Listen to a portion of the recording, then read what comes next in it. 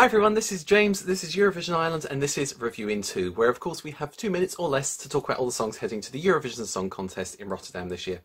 Before we get to today's song, please take a moment to make sure you are subscribed to our channel so you don't miss out on any future videos, because of course we are going to be covering all the songs that are heading to Rotterdam this year. And also, if you'd like to leave a like or a comment, please feel free to do so. So, without further ado, let's open up to Eurovision 2021.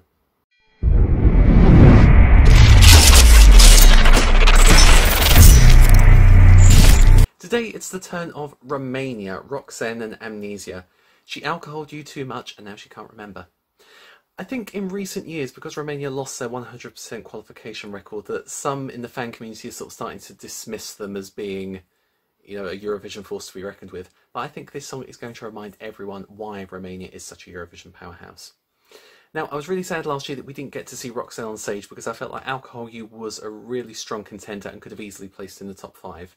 So I had high hopes for what she would do this year, and I think she's lived up to them. Amnesia feels very much of its time. It's a bit dark, a bit moody. It's got very modern elements in there.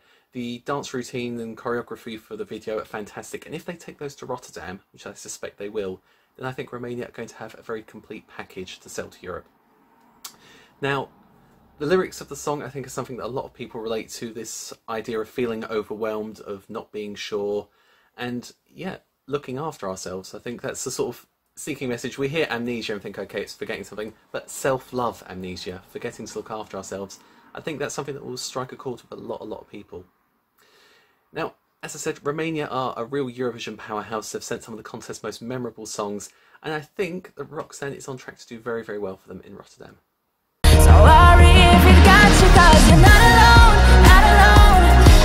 So that was my review in two. Hope you enjoyed it. Just remember these videos are my personal comments and thoughts on songs influenced by my taste in music. If you want to get in touch, you can do so by the comments below. I'll be replying personally to all your comments in the coming weeks and months. So make sure you keep checking back to EurovisionIreland.net for all the goings on for Eurovision 2021. That's all for now. Take care, Europe. Thank you and good night.